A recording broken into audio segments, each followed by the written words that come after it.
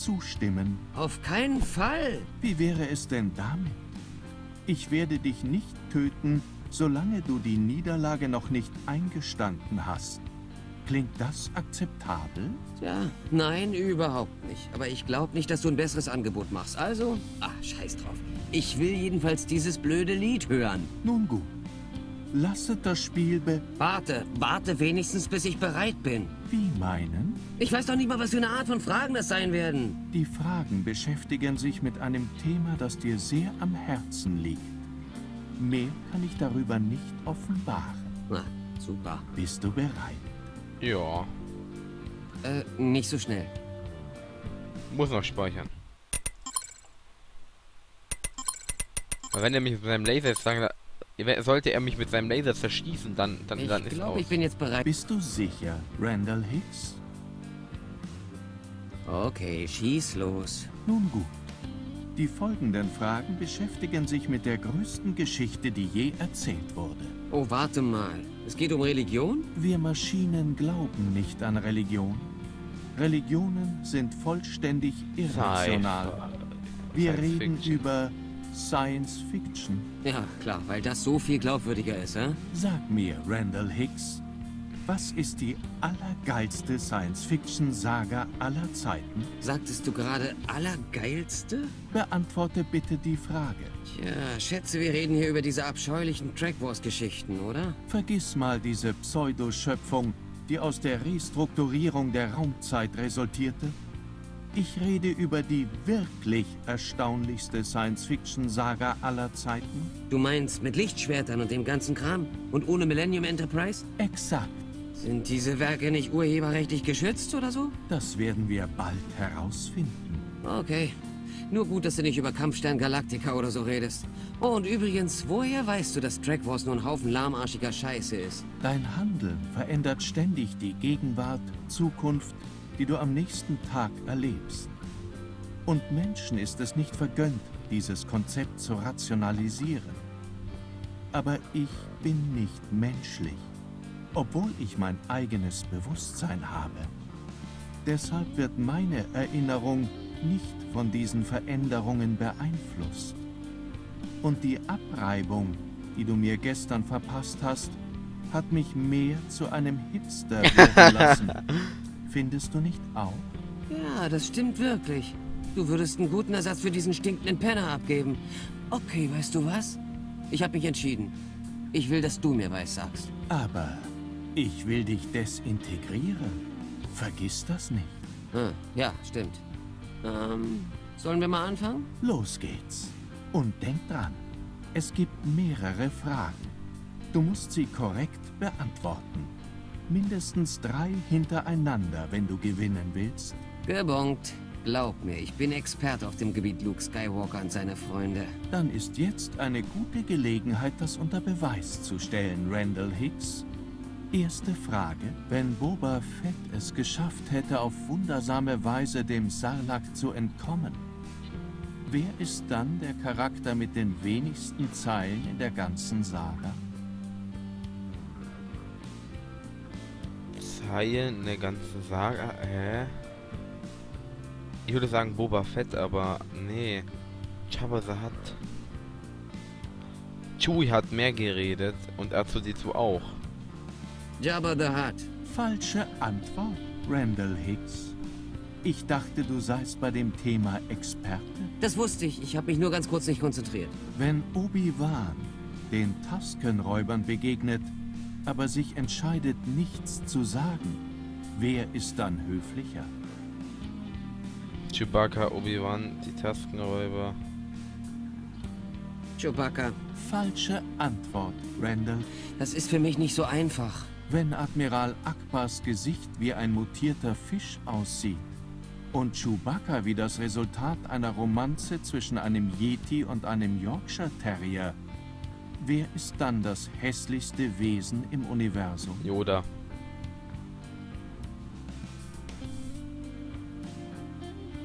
Oh, der Typ in der Kantine, der zu Luke... Falsche Antwort.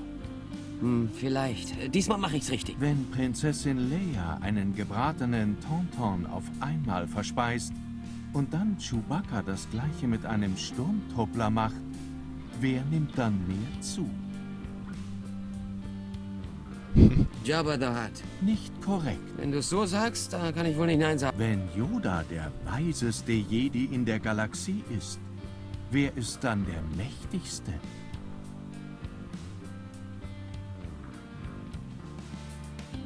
Obi-Wan. Das ist nicht... Ehrlich?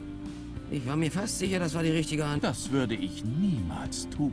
Wenn die Ewoks auf Endor eine Silvesterparty veranstalten, wer sollten dann die Ehrengäste sein? R2D2 und C3PO. Falsche Antwort. Red Das wusste ich. Ich hab... Wenn Jar Jar Hä? Binks einen schrecklichen, gnadenlosen Tod verdient hätte, was er zweifellos hat, wer sollte dann der Scharfrichter sein?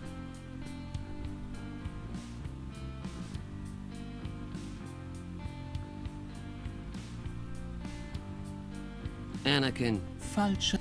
Das ist für mich nicht... Wenn die Sith wirklich schlecht gelaunte Zeitgenossen sind, die Jedi aber viel freundlicher, wer ist dann am hässlichsten? Die Hutten. Falsch. Hm, vielleicht. Wenn Tatooine der Heimatplanet von Anakin und von Luke ist, auf welchem Planeten wird dann dehydriertes Gemüse verkauft? Was? Dehydriertes Gemüse. Was hat das damit zu tun? Nabu? Nicht korrekt. Wenn du es so sagst... Wenn Prinzessin Leia auf Hoth ein Picknick veranstaltet und Luke, Han, Wedge und Chewie dazu einlädt, wer kommt als erstes? Wer ist Wedge? Hä? Ich kenne keinen Wedge. Nur aus Final Fantasy 7. Leia. Tja, die wird ja wohl als erstes da sein, wenn sie die... Richtig. Aber ich muss Klar, sicher. Ähm, mir, wenn Darth Vader viel später als sonst zu Abend ist.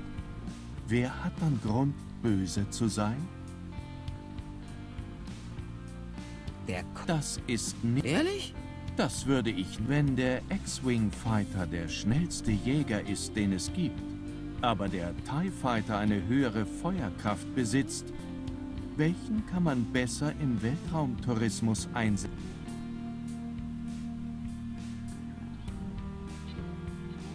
Den X-Wing. Der X-Wing ist cooler, basta. Richtig. Aber Klar. Wenn Han Solo vom Auftauprozess blind geworden ist und der Lando Calrissian versehentlich ins Auge haut, wer sollte dann den Millennium Falcon fliegen? Ja, Chewie. Chewbacca. Falsch. Das wusste ich. Ich hab... Wenn Lukes Lichtschwert beim Brunch kaputt geht, Luke. Jeder Jedi kümmert sich um seine eigene Waffe. richtig. Klar. Wenn Luke, wer sollte dann in Wirklichkeit Oh. die neue Hoffnung der Ga Luke. Da gibt's nicht viel... Nun gut. Jetzt hast du schon zwei. Bist du sicher, dass du... Du hast den Test nicht bestanden, Randall Hicks. Da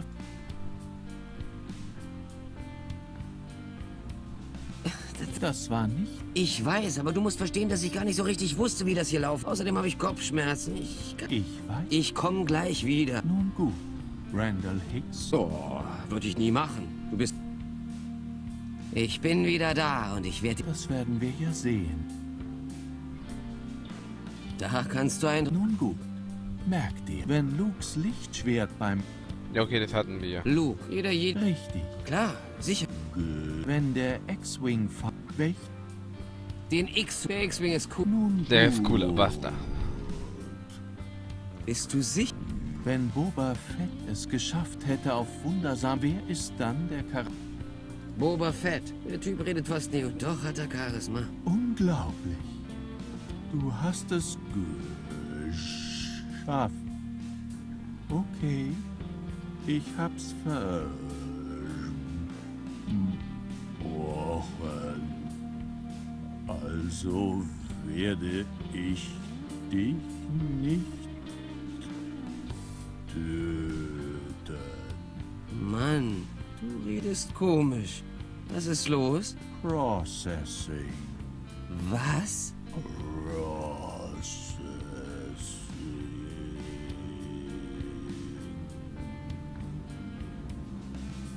Das musst du doch noch rumrechnen. Gesteh deine Niederlage ein, Mann. System. Overload.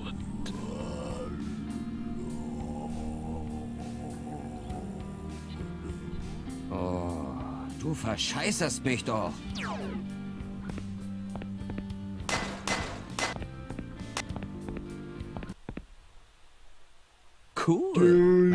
Meinen Supercomputer mit einem Hammer angegriffen? Und warum singt der jetzt? Weiß nicht, Mann. Ich, ich glaube, du hast recht. Der, der ist total gaga. Ach Mann, jetzt muss ich den selbst reparieren, weil ich nicht vorhabe, mir die ganze Zeit das Gedudel anzuhören, bis der Techniker kommt. Ehrlich? Hm, mir gefällt's. Ja, du magst ja auch Stirb langsam 4.0. Ja, na und? Das ist ein Klassiker. Ein total unterschätzter Film. Ja, klar. Egal, ich hab jetzt zu tun, wenn's dir nichts ausmacht. Also lass mich arbeiten. Ja, na klar, mach nur. Man sieht sich. Charlie, hast du mal einen Moment? Nur wenn's was Wichtiges ist. Ich hab zu tun. Ja, kommt drauf an, was man als wichtig bezeichnet. Ich meine, für mich ist es wichtig. Na gut, dann lass hören. Was gibt's?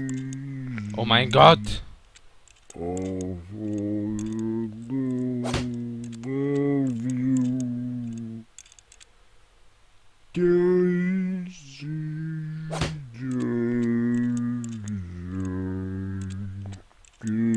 Was denkst du über den Körpertausch von Octavius und Peter Parker?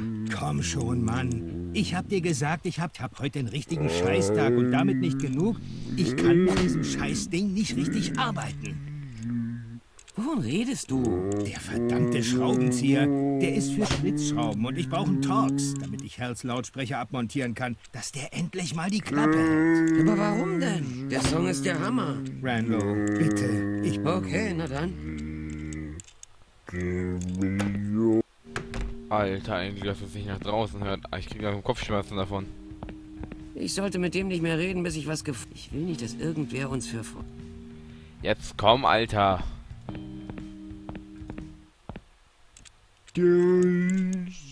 Hey, Randall, andere ist mir scheißegal. ist ja schon...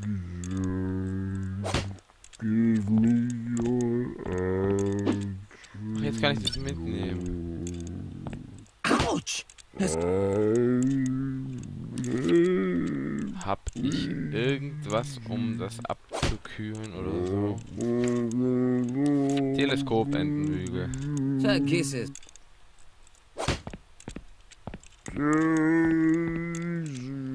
Die meisten sind klasse.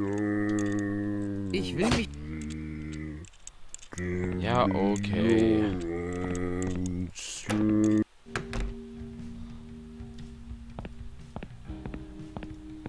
Ich sollte... Ich will...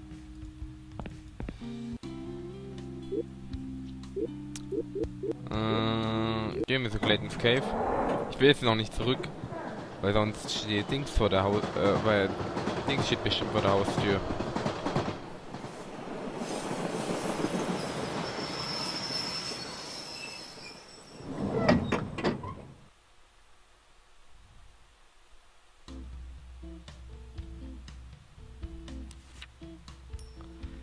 Scheiße. Randall hat kein Geld dabei.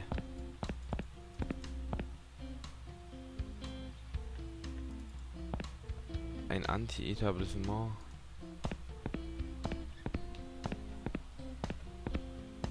Hey, was geht? Kenn ich dich? Nee, solltest du aber. Hör mal, ich warte hier nur auf jemanden. Wenn du also nichts dagegen hast, Störe ich? so ein bisschen. Oh, jetzt habe ich aber Angst. Ein Typ, der wie Travis aussieht, bedroht mich. Wie wer? Mir ist gerade eingefallen, dass ich dich hasse. Ja, hau ab. Kann ich den mit dem Hammer schlagen? Ich habe seit sieben Jahren niemanden mehr einen Hammer übergezogen. Ich bin clean. Vergiss es. Nein, Jetzt komm. muss ich gar... Muss ich... Nur eine Partytröte. Das ist kein...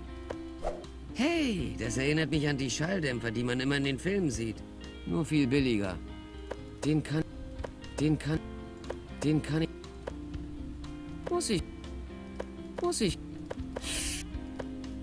Ich glaube... Es gibt... Es gibt... Okay, okay.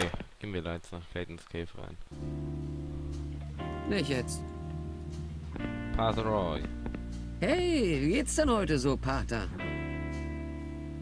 Sehen Sie, tut mir leid, dass ich Ihnen gestern die Kreide geklaut habe und dass ich versucht habe, Sie zu vergiften. Wissen Sie, ist einfach so passiert. Obwohl, jetzt wo ich darüber nachdenke, technisch gesehen sollten Sie sich gar nicht daran erinnern. Also vergessen Sie, was ich gerade gesagt habe. Braver Junge.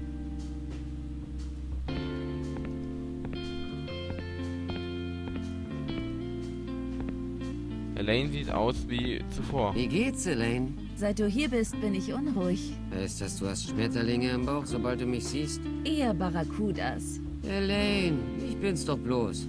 Du musst nicht gleich weiche Knie kriegen, wenn ich dich anlächle. Okay, gut. Weil ich nämlich keine habe. Ich kenne dich doch, Elaine. Ich weiß, wie du dich fühlst. Dann weißt du ja, dass mir gerade schlecht ist. Ach, weißt du, ich glaube nicht, dass die schnippische Tour das beste Mittel ist, das Herz eines Mannes zu erreichen. Wäre dir eine Schraubzwinge lieber? Hör mal, Elaine. Wir müssen dieses Spielchen nicht mehr durchziehen. Ich weiß, dass du mich magst. Das Einzige, was ich an dir mag, Randall, ist, wenn du wieder gehst. Wenn ich sage, ich werde unruhig, wenn du reinkommst, dann nur, weil ich nicht weiß, ob du ein kotwerfendes Tier dabei hast oder deinen kotzenden Freund. Beides ist nicht so gut. Macht das die Sache etwas klarer für dich? Wow, das war ja... Die Wahrheit. Okay. Ich verspreche mich von jetzt an zu benehmen. Vielleicht kann ich ja alles wieder gut machen. Ach komm schon, Randall, vergiss es. Liegt's an mir oder wird Elaine mit zunehmendem Alter immer besser, so wie... Oh Mann. Er sollte halt nicht irgendwie. Er sollte vielleicht mal irgendwie nicht. Oh, hier hängen immer noch die Poster von Rapture und da ist der Kondomautomat. Nee.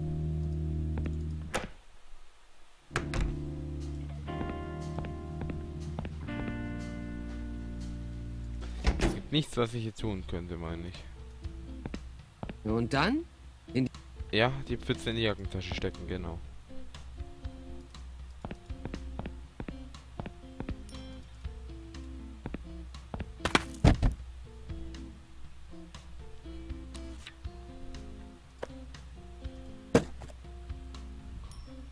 Das würde kein... Ach was. Hm, auf zu Randalls Wohnung.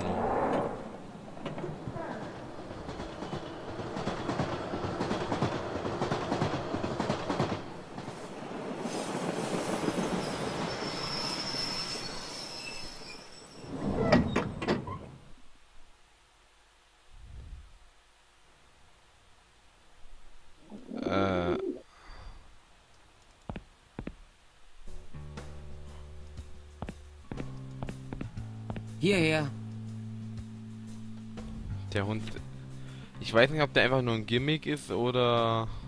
Das ist...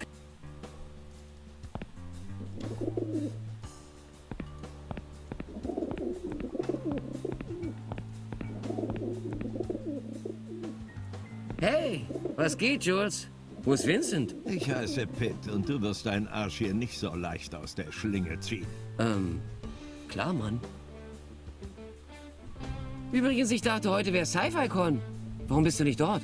Ach, fuck, Mann, die verfickten Bastarde haben sie im letzten Moment abgesagt. Ich gehe dahin und gebe den verfickten Muschis eine Kugel in den Kopf. Bleib mal locker, ist doch nicht so schlimm. Immerhin musst du nicht die klitzekleinen Teile Schädel vom Rücksitz pulen oder so. Nicht so schlimm? Nicht so verfickt schlimm? Ich bin eine atombombenlegende Arschlochsau, Motherfucker. Jedes Mal, wenn ich meinen VIP-Ausweis sehe und gar nicht dort bin, bin ich voll TNT. Ich bin die Kanonen von Navarone. Im Ernst, was zum Geier mache ich eigentlich hier noch? Ich gehe dahin und mach sie alle alle. Mann, Junge, bleiben wir mal cool, wie zwei Fonsis. Und bitte sag mir, dass das keine echte Knarre ist, die du da hast. Was hast du gesagt? Mr. 9